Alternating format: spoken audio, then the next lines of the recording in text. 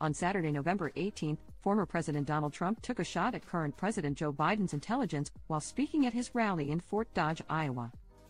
Trump claimed Biden was an incompetent leader due to the way he handled his recent meeting with Chinese President Xi Jinping.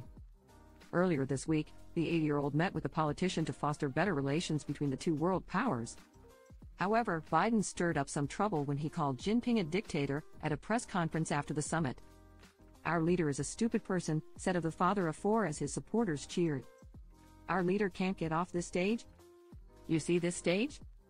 The 77 year old then mocked Biden by pretending to appear confused and repeatedly said, Thank you.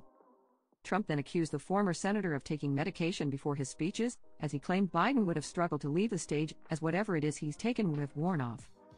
Biden and Trump are clear favorites to win their party's presidential nominations and will likely face each other in the 2024 general election like they did in 2020.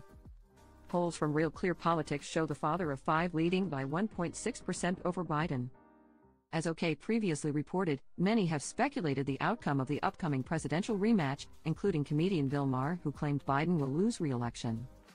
On the Friday, November 17th episode of HBO's Real Time with Bill Maher, the host spoke with DNC Chair Donna Brazile, where he asked what do you think of prominent Democrats like David Axelrod calling for Joe Biden to, quote, get out or get going. Did he say that?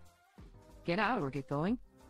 Brazile responded, I believe in a tweet or two and some stuff. Look, people think that Joe Biden is perhaps too old. They're right, to which the TV host said, perhaps? Don't spill the water or something might come out of it. You know, everyone ages differently, Brazile added. I agree. I've said Maher began before Brazile chimed in, saying, You know so, Betty White lived to be 99. Mick Jagger is still twisting his A. I've been the one making the case year after year here against ageism.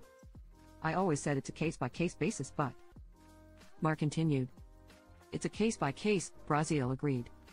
Maher then made the prediction that Biden would not be president for much longer.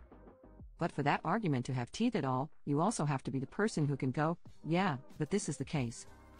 And I've said it before. Do I think Joe Biden can do the job? Absolutely. I don't think he can win the job.